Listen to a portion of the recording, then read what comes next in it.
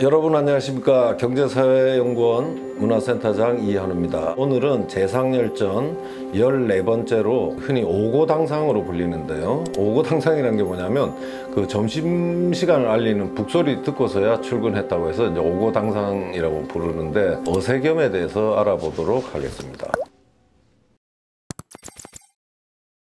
어세겸도 지난 시간에 우리가 살펴봤던 노사신과 마찬가지로 그 연산군 때 하필이면 정승이 됩니다. 사실 세종 때 한 중간쯤에 태어난 사람들은 어린 시절에 세종 시대가 지나갔기 때문에 사실 태평을 경험하기가 어렵죠. 관리가 돼야 이제 그걸 더 알 수가 있는 건데 그래서 세종 중후반에 태어난 사람들의 삶이 상당히 경랑에 이제 휘말렸던 것 같고 어세겸도 이제 사실 그 예외는 아닙니다. 근데 어세겸도 상당한 그 인물이거든요. 어머니가 바로 태종 때의 좌의정 박은의 딸입니다. 이것만 보더라도 이 집안이 상당히 명문가였고 어세겸은 세조 2년에 동생 어세공하고 같이 문과에 급제를 합니다. 아마 이름을 보면 겸, 공 이렇게 하면서 뭐 겸손, 공경 어? 이런 것들을 강조했던 집안 분위기가 있었던 것 같고 그 세조 때도 순조롭게 승진에 승진을 거듭합니다. 굉장히 능력이 출중했기 때문에 그래서 세조 말이 되면 승지가 되고 또 그 당시에 실력자가 이제 김국광이나 한계희 뭐 이런 사람들인데 어, 이런 사람들이 서로 경쟁적으로 추천할 정도로 이 능력이 뛰어났던 것 같습니다. 그래서 먼저 이제 그 사람의 성품에 대해서 실록의 졸기를 보면 이렇게 말을 하고 있습니다. 천품이 확실하고 기계와 도량이 크고 넓어 첩을 두지 않았고 용모를 가식하지 않았으며 청탁하는 일이었고 소소한 은혜를 베풀지도 않았다. 천성이 또한 청렴하고 검소하여 거처하는 집이 흙을 쌓아 층계를 만들고 벽은 흙만 바를 뿐 붉은 칠은 하지 않았다. 그 다음에 경과 사, 경전과 역사 읽기를 즐기고 술 마시기를 좋아하여 손님이 오면 종일토록 어, 마 시고 또 문장을 만들어도 기본 흐름만 되면 됐지 그걸 막 이렇게 저렇게 연마하는 건 하지 않았다는 겁니다. 음양풍수 뭐 이런 거에 대해서도 관심을 두지 않고 아마 담백했던 성격 같습니다. 또 그 할아버지가 그 세종 때 어병갑이라고 해서 그 지편전에서 직제약을 지냈기 때문에 아마 조선 왕조 초기 건강했던 그런 풍토에서 어떻게 보면 오세겸은 가장 전형적으로 유능한 관리 그렇게 볼 수가 있는 것 같습니다. 그리고 이제 예종 때 남이 영모 사건을 처리하는데 관여해 가지고 함종군이라고 해서 봉호까지 받았습니다. 그러니까 아주 특별한 게 아니면 앞길은 보장된 셈이었죠. 그리고 이제 예종 다음이 성종인데 성종 시대는 사실은 뭐 대단한 것도 아니지만 사실 태평성대 시대는 아니고 그냥 아무 일도 없었던 시대라고 저는 이제 생각을 합니다. 그래서 이제 이때 성종 때 어세겸 관력을 보면 성종 10년에 대사원이 되는 거죠. 그 다음에 명나라 사신으로 갔다 오고 뭐 전라도 관찰사, 공조 판서, 형조 판서, 한성 판년, 호조 판서, 병조 판서에 두루두루 관직을 거치게 됩니다. 또 명나라 사신으로 갔을 때 일화가 하나 전하는데요. 요동에 도착했을 때 그 환관이죠. 태감하고 그쪽 그 요동 쪽의 지역 관리들이 이 연회를 마련해 놓고 술을 이제 권하면 하면서 왜 무릎을 꿇고 술을 마시지 않느냐 이렇게 이제 따졌답니다. 아, 그랬더니 아니 나는 전하의 명을 받고 명나라 수도에 가는 사람인데 어? 그 여러분들이 뭐 술자리 베풀어서 나를 위로해 주는 자리인데 내가 왜 무릎을 꿇고 술을 마셔야 되는가라고 당당하게 이렇게 설파를 하는 바람에 그 후에 돌아와서도 굉장히 어, 칭송을 받았다는 거죠. 사실 그때는 명나라 사신들의 파워가 얼마나 크냐면 사실 한 명에조차도 눈치를 살필 이럴 정도 정도였는데 그 명나라 들어가가지고 요동 관리가 이렇게 겁박하는데도 당당하게 대처한 걸 보면 어세겸은 상당히 담력도 있었던 사람 같습니다.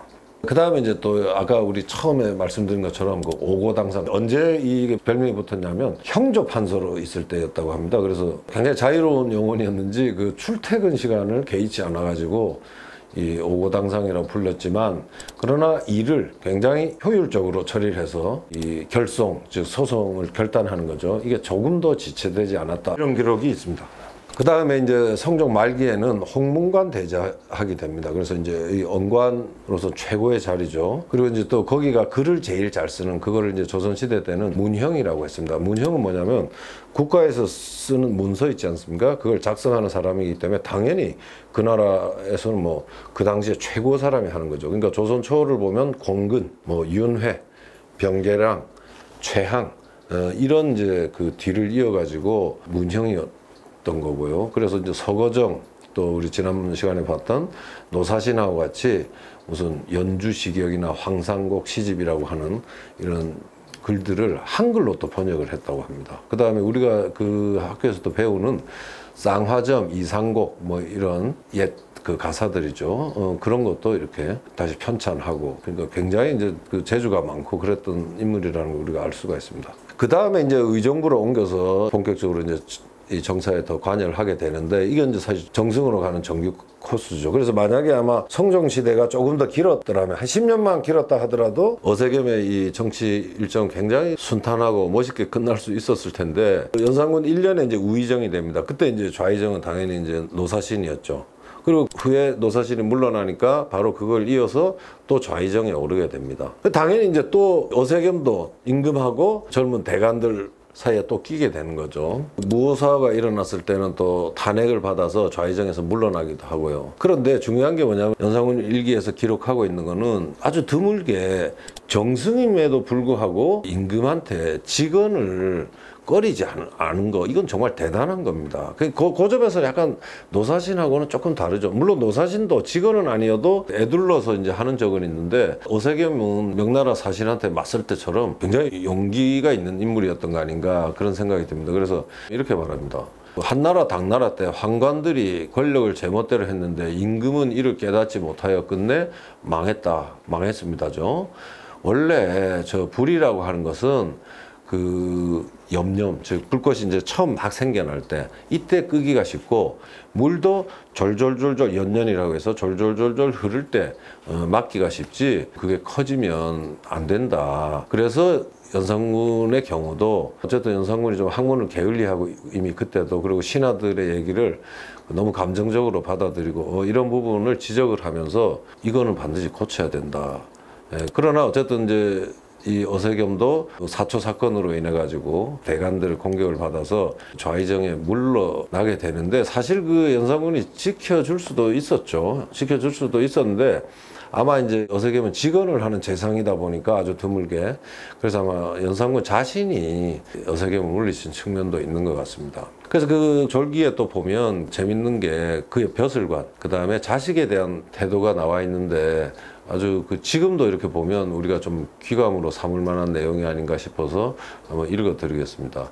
오세겸은 젊을 때부터 나아가 벼슬 하는 일에는 욕심이 없어 요행으로 이득을 보거나 벼슬 하는 것과 같은 말은 입 밖에 내지 않았다는 거예요. 또 활쏘기 말타기 재주가 있었지만 일찍이 이를 내세워 자랑하지 않았고 일찍이 편지 한 장 해가지고 이건 이제 실력자들이죠. 그런 사람들에게 편지 한 장에서 자제들을 위해 은퇴 구하는 일을 하지 않았다. 즉 청탁 같은 것을 하지 않았다는 겁니다. 그런데 이게 사실 결과적으로 굉장히 이제 지혜로운 처신이 된 거는 아마 그때 그 뒤에 물러나 가지고 자식들을 위해서 자리를 부탁하고 권신들에게 했다면 그 자식들이 장가는 좋은 자리에 나아갔겠죠. 그러나 그렇게 됐다면 결국 연산군 말기에 중종 반정이 일어나 가지고 어떤 비극을 당했을지도 모릅니다. 아, 그런 면에서 이렇게 이제 멈출 줄 알았던 어세겸의 처신이 자식들을 다 온전하게 보존한 게 아닌가 하는 생각이 듭니다. 그래서 이제 그런 점에서 저는